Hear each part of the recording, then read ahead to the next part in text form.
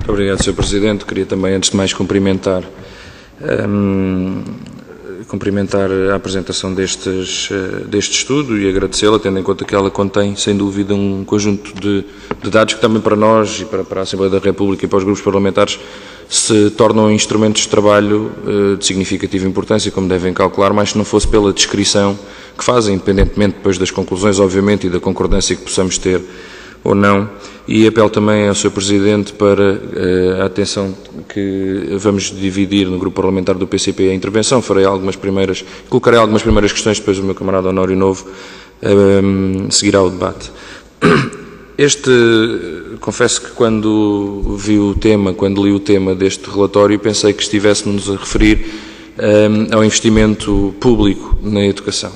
Depois, obviamente, reparámos que não era esse o caso e estamos-nos a referir, no, essencial, àquilo que o Governo gosta de chamar o investimento privado, ou seja, o investimento do próprio estudante, o investimento da família na educação. Não há referências claras ao investimento público e não há também comparações entre os diferentes graus de investimento nos diversos países, quer do estudante, quer do, ou seja, nós partimos para uma análise dos resultados do investimento nos diversos países, dos resultados da duração da escolaridade nos diversos países, mas não fazemos uma não se faz, não, não, não teria obrigatoriamente de se fazer, como é óbvio, mas é um dado aqui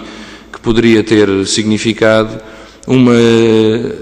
uma, uma distinção entre qual é a exigência de investimento para um estudante num outro país daqueles que aqui são utilizados para a comparação e aquela que é em Portugal, por exemplo. E aqui é interessante cruzar o vosso estudo, que não se debruça sobre esta matéria, nem teria de o fazer,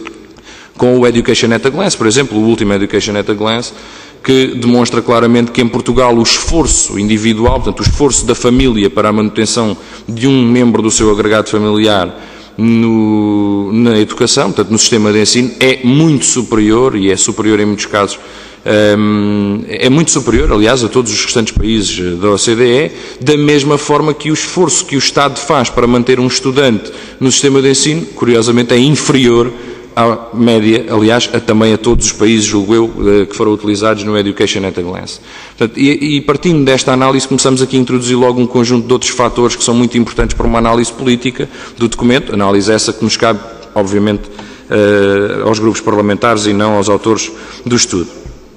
Há aqui, uh, no entanto, notas que o próprio estudo nos deixa, que são uh, constituem em si mesmo uma mais-valia para a análise política. E eu gostava de salientar algumas antes de vos colocar as questões que queria colocar. A precariedade,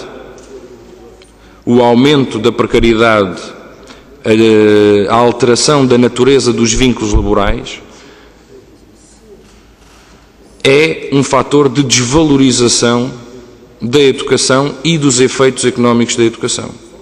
Essa é uma conclusão que, julgo eu, está bem clara no estudo. Portanto, apesar do esforço que se possa fazer na educação, há outros fatores que contribuem para a sua desvalorização.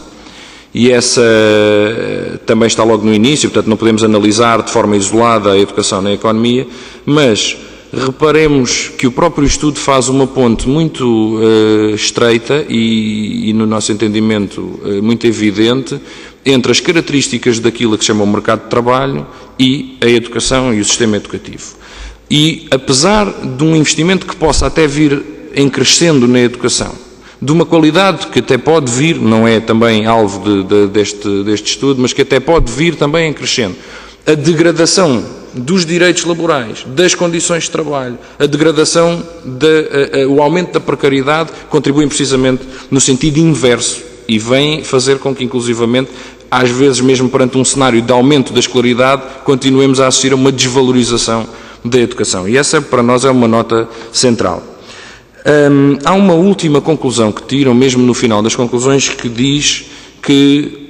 o aumento do investimento através dos impostos poderia, ou, aliás, na vossa linguagem, conduz a um menor crescimento económico. Eu gostava de saber qual é a evidência, porque, por exemplo, como sabem, o PCP defende a gratuitidade do ensino em todos os seus graus, aliás, não é só o PCP, é também a Constituição da República Portuguesa, que determina que devemos trabalhar progressivamente para a gratuitidade. Nesse sentido, a carga fiscal relativa à educação certamente aumentaria. Que nota, ou qual é a evidência que tem para, que, para dizer que a gratuitidade que contrairia não só a atratividade da, da educação, como também o crescimento económico? Gostava de terminar colocando apenas duas ou três outras questões. Nós estamos também num cenário de alteração da oferta formativa, como o Governo lhe chama, não é? da oferta formativa,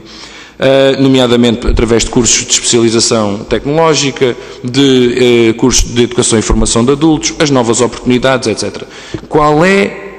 ou pelo menos qual é a perspectiva com que encaram esta, o impacto destas uh, experiências no, eh, nomeadamente na valorização da componente educativa no salário. E termino com uma outra que é parecida, mas embora eh, se verifique no ensino superior. Nós verificamos que eh, a valorização salarial, portanto o diferencial salarial tem vindo a crescer, particularmente desde 1995. Eu acrescentaria N fatores, mesmo aqueles que já foram aqui acrescentados, Sr. Deputado,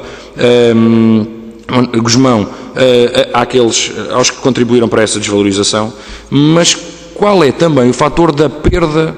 da qualidade no próprio ensino superior, nomeadamente, e verificamos que em 2005, curiosamente o primeiro ano em que entram em vigor as licenciaturas, as novas licenciaturas de Bolonha, há uma quebra ainda mais acentuada. Qual é a expectativa que Bolonha e a desvalorização da formação e a sua diminuição e encurtamento no tempo podem vir a gerar também na retribuição salarial desses, desses mesmos cursos? Muito obrigado.